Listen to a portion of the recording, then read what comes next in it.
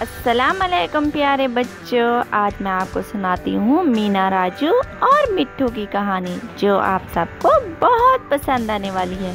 तो चलते हैं कहानी की तरफ़। मीना एक कम उम्र की लड़की थी, जो कि अपने वालदेन और अपनी दादी अम्मा, अपने भाई राजू और अपनी छोटी बहन रानी के साथ एक गाँव में रहती थी। मीना का तोता मिट्टू इसका बेहतरीन दोस्त था। मीना बहुत सी दूसरी लड़कियों की तरह एक आम लड़की थी, मगर कुछ मामला में इनसे थोड़ी मुख्तलिफ़ थी।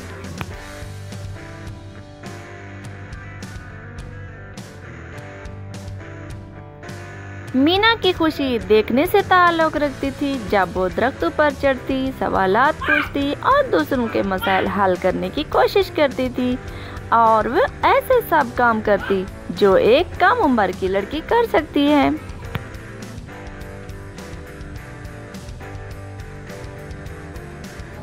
तो आइए बच्चों, सुनते हैं आज मीना की कहानी के मीना दिन भर क्या करती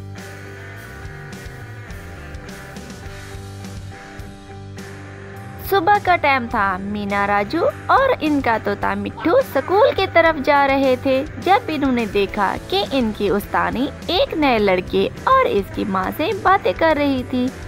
वो अपनी उम्र से बहुत छोटा नज़र आ रहा था। तो इस पर राजू कहने लगा, पता नहीं ये लड़का कौन है और इसका नाम क्या होगा? और ये नया आया है इस स्कूल में। लड़के को देखकर मीना कहने लगी, राजू, ऐसे लगता है कि एक नया लड़का हमारे स्कूल में दाखिल हुआ है। तो इस पर राजू ने कहा हाँ मीना, मैं भी सोच रहा हूँ। पता नहीं इस लड़के का नाम क्या है? थोड़ी ही देर बाद टीचर ने सारे बच्चों को साथ लिया और क्लासरूम में आ गई। नए बच्चे का नाम समीर था। उस्तानी ने इसे मीना के साथ बिठाया था। मीना को जल्द ही पता चल गया कि समीर को क्लास के दूसरे बच्चों के साथ पढ़ने पढ़ने में दुश्वारी पेश आ रही है क्योंकि सब बच्चे पेंटिंग कर रहे थे। किसी ने अपनी कॉपी पे बनानास बनाए थे तो किसी ने चेरी, किसी ने एप्पल बनाया था तो किसी ने ऑरेंज, पर इस बच्चे ने सिर्फ़ अपनी कॉपी पर लकीरें ही लकीरें लगाई हुई थी।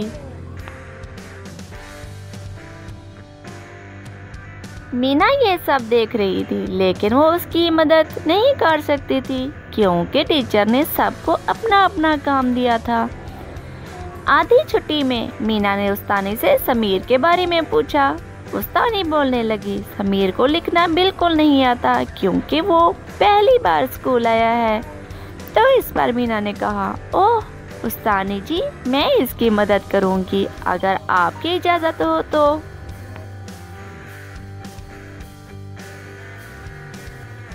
इस पर उस्तानी जी ने कहा हाँ मीना, बिल्कुल, तुम उसकी मदद करो, ताकि वो जल्द अज जल्द पढ़ने लिखने में ठीक हो जाए। बहुत से दूसरे बच्चों को समीर के बारे में समझ नहीं आई। अगले ही रोज मीना ने देखा कि मानी और इसके दोस्त समीर को तंग कर रहे हैं।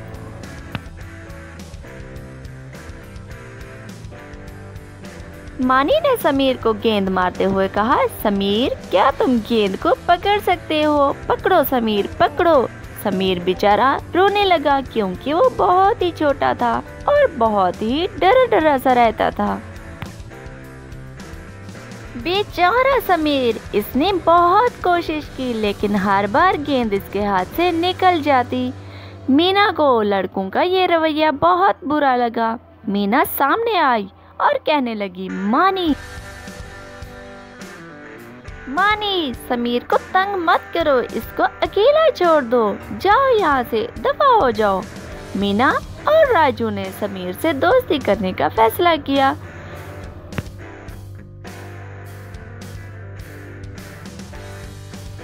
जब सब लड़के चले गए तो मीना और राजू समीर के पास आए और उनसे कहने लगे समीर, शाम को हमारे घर आओ और हम खेलेंगे, कूदेंगे, खूब मज़ा करेंगे।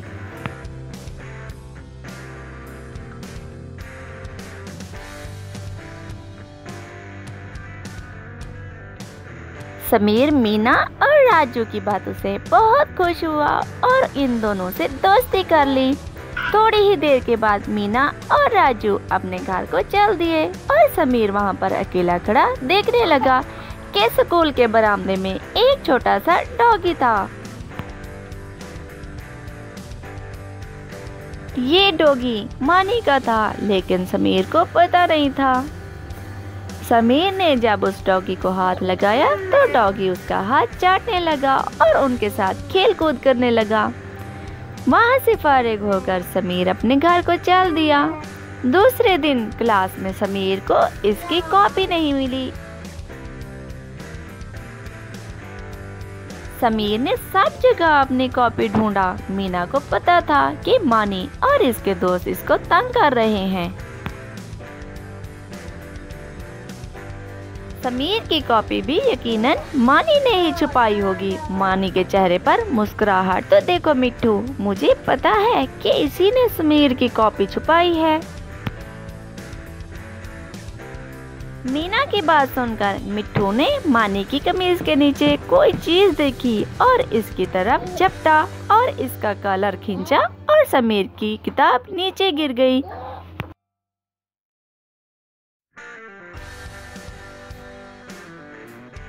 मिट्टू को गुस्से में देखकर मानी ज़ोर से चिल्लाने लगा उस्तानी जी, मुझे बचाओ मुझे बचाओ, मेरी मदद करो, मिट्टू मुझे काट रहा है।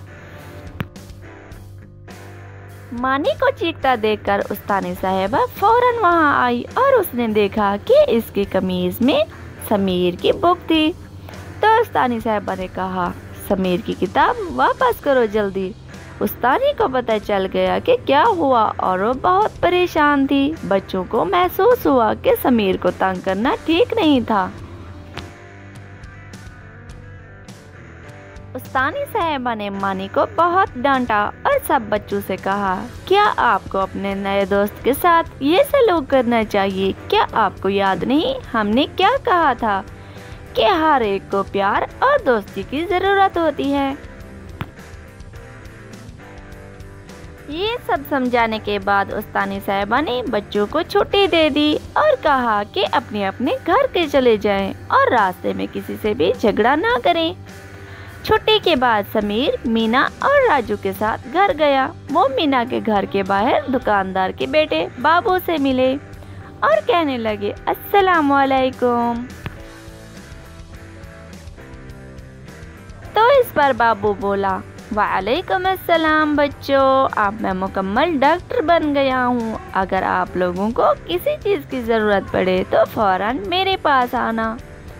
तो इस पर मीना बोली, क्या? वाकई बाबू, क्या आप मुकम्मल डॉक्टर बन चुके हैं? तो इस पर बाबू बोले हाँ बेटा, मैं अब मुकम्मल डॉक्टर बन चुका हूँ। अगर आपके घर में किसी को भी कोई तकलीफ़ हो तो आप सब मेरे पास आ सकते हैं। तो मीना ने कहा, ठीक है डॉक्टर।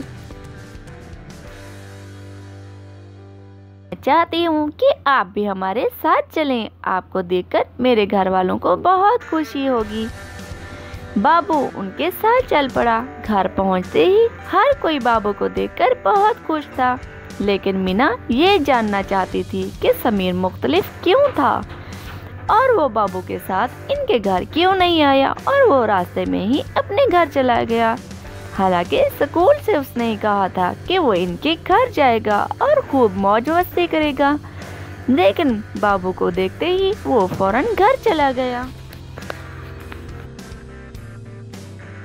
अचानक से मीना बोली, बाबू, मुझे आपसे एक बात करनी है। तो इस पर वो डॉक्टर बोला हाँ मीना, बोलो, क्या बात है? तो मीना ने कहा, समीर, बहुत सी चीज़ें नहीं समझ पाता और इसको पढ़ने में मुश्किल होती है। इसके साथ आखिर क्या मसला है? क्या आपको समझ आ सकती है? तो इस पर बाबू बोला कि बचपन में आयोडीन की कमी की वजह से कुछ चीज़ें याद रखने में दुश्वारी होती है। कभी कभार बच्चों को सुनने और बोलने में भी मुश्किल होती है और इनकी नशनुमा भी मुतासर होती है। बड़े होने पर इस तरह के बच्चे इस कारकर्दगी का मुजाहरा नहीं कर सकते जैसे दूसरे लोग करते हैं। जहन की नशोनुमा के शुरू के सालों में अगर इस कमी पर काबू पा लिया जाए तो बच्चा बिल्कुल ठीक हो सकता है। लेकिन अगर दिमाग को नुकसान पहुँचे तो ये कभी भी ठीक नहीं हो सकता। आयोडीन की कमी से गलहड़ की बीमारी भी हो सकती है, यानी गले की बीमारी। समीर की माँ को भी गलहड़ की बीमारी है, फिर वही होता है जैसे कि समीर के साथ हो रहा है। समीर की माँ को गलहड़ की बीमारी सब पूछने लगे और हैरान रह गए तो बाबू ने कहा तो बाबू ने कहा हम आयोडीन की कमी पर कैसे काबू पा सकते हैं? चलो, मैं आप सबको बताता हूँ। बाबू ने आयोडीन मिला नमक, हाथ में लिया और इसके बारे में बताया। आयोडीन मिला नमक इस बीमारी से बचाव का बेहतरीन तरीका है। तुम्हें इसकी एक खास मकदार रोज़ाना लेनी चाहिए।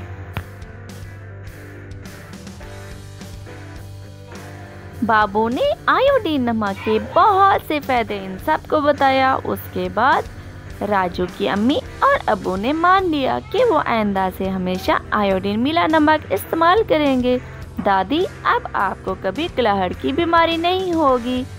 इसी रात मीना ने ख्वाब देखा कि समीर दूसरे बच्चों के साथ हँसी खुशी खेल रहा है और हर कोई से प्यार कर रहा है। अगली सुबह जब मीना उठी तो उनको ये महसूस हुआ कि ये ख्वाब ज़रूर सच होगा। और वो मिट्टू से कहने लगी, मिट्टू, समीर को प्यार और मोहब्बत और बहुत सारे दोस्तों की ज़रूरत है। तो उस पर मिट्टू भी सर हिलाने लगा।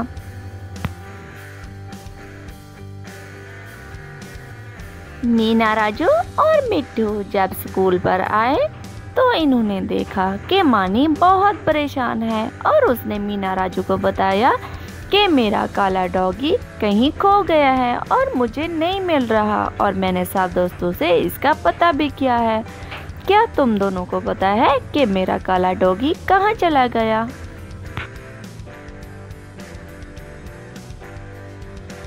में पास ही एक झाड़ी से समीर नमूदार हुआ। वह बुरे हाल में था और गंदा था। इसने बहुत प्यार से उस काले डॉगी को गोद में उठाया हुआ था।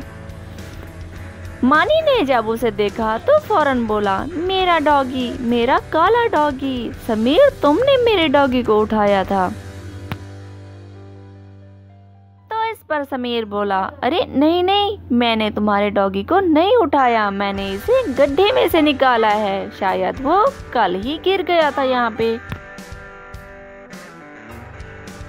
और यहाँ से निकल नहीं पाया, तभी वो तुम्हें कल से नहीं मिल रहा था। डॉगी को देखकर मानी की खुशी की इंतहा न रही। इसने समीर के कंधे पर हाथ रखा और उसे दोस्ती करने का कहा। समीर मुस्कुराया और मीना ने देखा कि इसका ख्वाब सच हो गया। अब सब समीर से दोस्ती कर रहे थे और उससे गले मिल रहे थे। थोड़ी ही देर गुजरी थी कि वो डॉक्टर बाबू, मीना के स्कूल आ गया और इनकी उस्तानी को बीमारी से बचने की तरकीब बताने लगा कि बच्चों को किस तरह से बीमारी से महफूज रखा जा सकता है। वो उस्तानी जी से बातें करने लगा और सब बच्चे भी वहाँ पर जमा हो गए।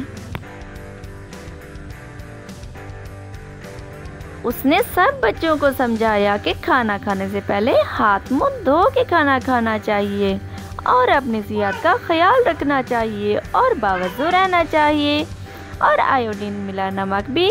खाने में इस्तेमाल करना चाहिए और हर तरह की उसने सफ़ाई का बताया। तो इस, तो इस पर बच्चों ने उस्तानी जी से वादा किया कि वो अपनी सेहत का ख्याल रखेंगे और साफ़ सुथरे रहेंगे और घर को स्कूल को और हर उस जगह को जहाँ पे वो जाते हैं और रहते हैं हर जगह को साफ़ करेंगे। अपने मोहल्ले को और अपने आप को गंदगी से बचाएँगे। बच्चों, आज की ये कहानी आपको कैसी लगी अगर आपको पसंद आई है तो मेरे चैनल को लाइक करें ताकि मैं इस तरह की और भी अच्छी वीडियो आपके लिए बनाऊँ।